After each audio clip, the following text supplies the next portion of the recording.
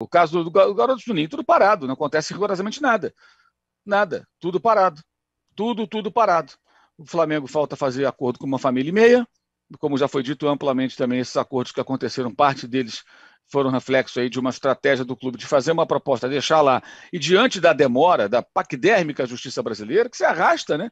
Parece um hipopótamo se movimentando, é, a coisa não vai, então as famílias acabam cedendo.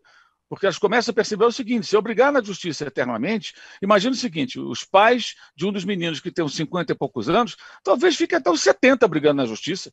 Isso pode durar anos, anos e anos dois anos agora, daqui a um mês, da, da, da, morte dos garotos e nada.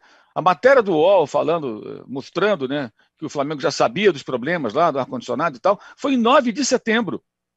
Quatro meses amanhã que essa matéria saiu. E nada aconteceu. De concreto, nada. Rigorosamente nada.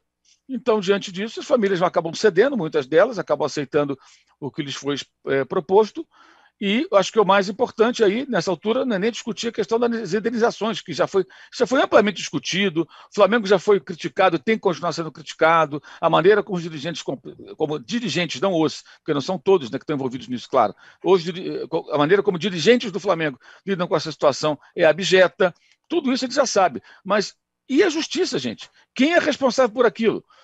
Lembrando que aquela, aquela aquela estrutura foi inaugurada ainda na outra gestão. E as pessoas que participaram daquilo?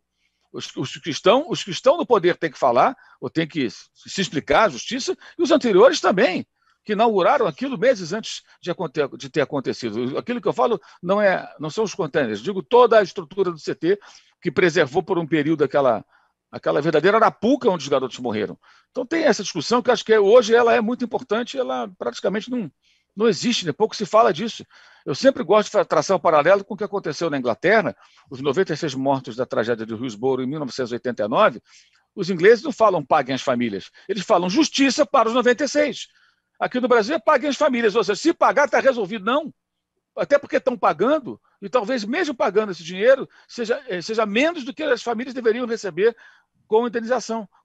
Talvez não seja bastante, mas acabam aceitando porque a situação com essa justiça que vai se movimentando tão lentamente induz até a pessoa a pensar, eu vou, eu vou acertar isso aqui, até porque eles querem virar essa página. Essas famílias têm que seguir em frente, as pessoas têm que continuar vivendo.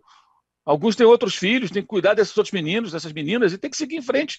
Então não dá para ficar todo dia acordando, ligando para o advogado, como acontecia, né? e você conversando com os familiares, com os advogados, você ouve relatos desse tipo, não, o cara acorda, liga e fala: e aí, doutor, tudo certo? Temos alguma novidade do Flamengo? Não, não temos. E a justiça? Também não tem nada. Aí no dia seguinte ele acorda, não liga para o advogado, dois dias, eu vou ligar de novo, manda o WhatsApp. Não tem, não tem nada, porque não acontece. O Flamengo deixou lá a proposta e a justiça.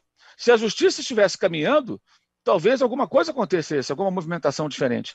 Então é, é, é, é vergonhoso isso. Vergonhoso para o Flamengo e vergonhoso para, para a falta de justiça nesse caso, porque não acontece nada, gente. São dois anos praticamente, num caso de repercussão imensa, obviamente, em que dez adolescentes, dez crianças praticamente, morreram queimadas vivas dentro de um clube de futebol.